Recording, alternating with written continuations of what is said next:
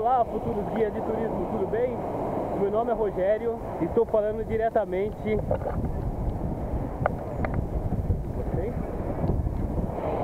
Estou falando diretamente da praia de Jacareípe. Eu acho que acabei de encontrar o celular. É de vocês?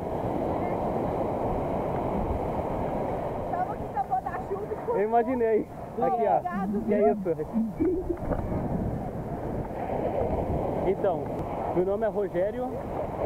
Estou falando diretamente do estado do Espírito Santo. O estado muito, muito pouco conhecido por nós paulistas.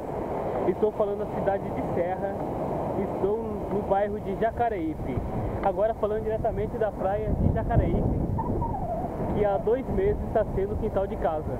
Bom, como contar a história de uma praia? O que se resume praia, praticamente? Vamos lá? Areia, mar, ondas e aqui é uma praia de surfistas, consequentemente, surfistas. Isso é uma praia estruturada, o que pode ter numa praia? Um calçadão, fantástico calçadão.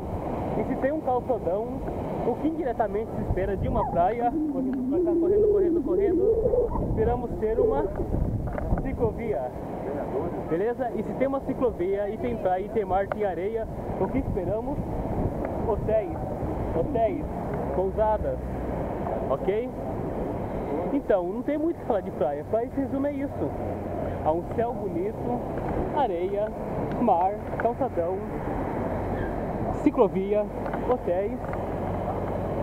E agora estou falando diretamente da praia do Barrote. Aqui estou mostrando para vocês, estou na praia do Barrote. E aqui, esses matinhos aqui, umas floricoxas, é uma restinga. A observação ambiental permanente da ACP. Que é a restinga. Qual que é a importância da restinga? Eu acho interessante, porque quando não tem essa restinga, quando bate o vento no mar e bate na areia, essa areia corre toda e vai para a calçada, invade as casas. Quando tem restinga, essa restinga ajuda a segurar essas areias e não deixa a cidade ser tomada por areia. Ok? Então, acho que é. Opa, e gaivotas? Não podemos esquecer de gaivotas. Voltando para o mar. Então, meu vídeo é isso, sobre um ponto turístico. Estou falando da minha cidade, Serra no Espírito Santo. E é fantástico, galera. Recomendo muito, muito, muito, muito. Eu estava com o intuito hoje de fa- fazer um vídeo sobre um morro super famoso aqui da cidade que se chama o Morro do Mestre Álvaro. Mas devido às chuvas desse final de semana, tive que desmarcar com um dia porque estava sendo impossível subir, que é um morro que fica à beira-mar e tem aproximadamente 830 metros de altura. E tem uma história super interessante, porque esse, esse morro se chama Mestre Álvaro porque no passado, no anos de 1800, 1900, 1700, sem buscar direto, existia um marceneiro super famoso que morava no pé desse morro, o senhor Álvaro. E como a Vitória é uma cidade em prospecção e tinha muitas pessoas ricas e blá blá blá blá blá blá blá blá blá, as pessoas compravam muito móveis, ondas, desse Álvaro, que era um mestre marceneiro. Ele ensinava as pessoas a, a arte de marcenaria. Como que ele foi muito famoso, daí na cidade, onde você vai? Eu estou indo buscar meu armário lá no mestre Álvaro. Daí todo mundo, onde você vai? Eu vou no mestre Álvaro. E daí acabaram associando o nome desse morro a esse mestre marceneiro do passado. E esse nome se dura até hoje.